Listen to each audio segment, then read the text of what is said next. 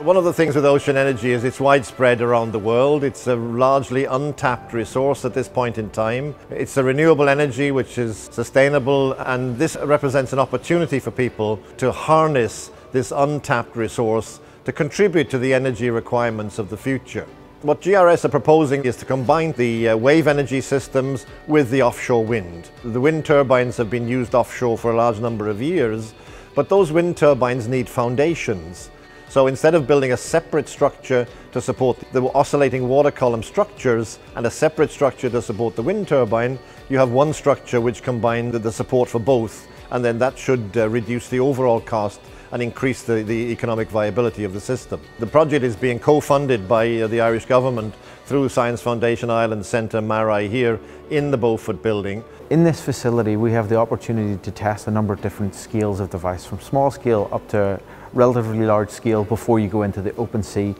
GRS have been going through a very rigorous process of testing and development at every stage doing numerical modelings and making sure everything they're doing is checked off before they move on to the next stage. Behind me is a 1 to 16th scale model of the GRS system with the oscillating water columns, the black chambers, which is open in part to the ocean underneath the surface. The chamber also contains an air volume and this air volume is compressed by the wave action with the water inside forcing the air out through a turbine like a pump really pumping air through a turbine which then spins to generate electricity. The GRS system is, a, is what's called a gravity system. So it's a rather heavy structure which sits on the seabed under its own weight and resists the forces in that way.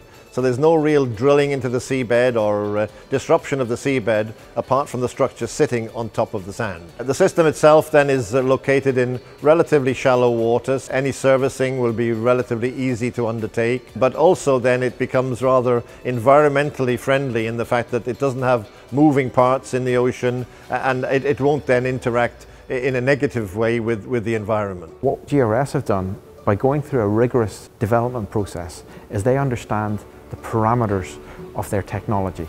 So that means that they can redesign or rescale the device for any particular place that they go to. But what's interesting for this type of technology is that there are subsidies and there are benefits that this type of technology can access that other types of technology can't. The return on investment and the IRR are much better because of these subsidies. So it makes more financial sense to invest in this type of technology rather than something else.